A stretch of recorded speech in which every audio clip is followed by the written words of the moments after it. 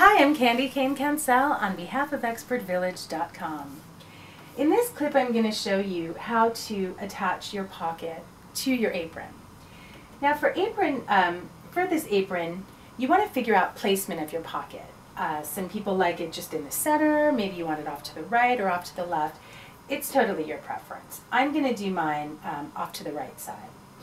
So what I'm going to do is just basically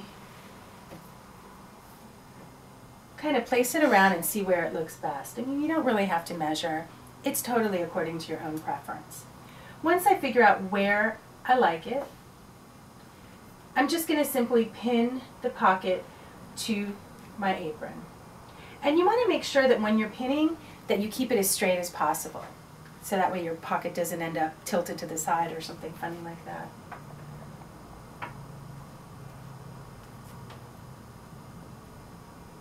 And also keep in mind, one of our sides is open because when we stitched the pocket originally and turned it inside out, we had to leave one side open to turn it. So with that, you just want to make sure that the underneath is not sticking out or anything. Just make sure that it's pinned flush to your apron.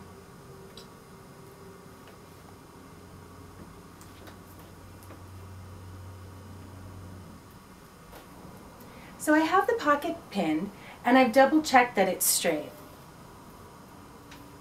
It looks pretty straight to me so I'm going to go ahead and stitch about a quarter of an inch in all the way around the pocket.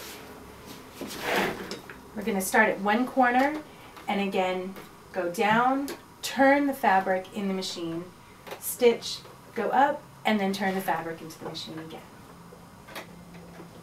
And when you're stitching something like this that's decorative, again you want to take your time because it becomes part of the design element, so you want to make sure that your stitching is as straight and clean as possible.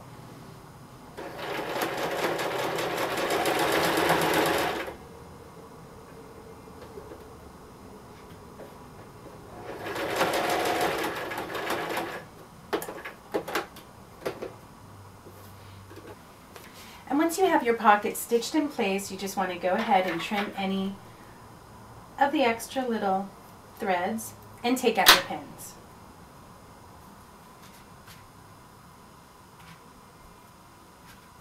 And voila!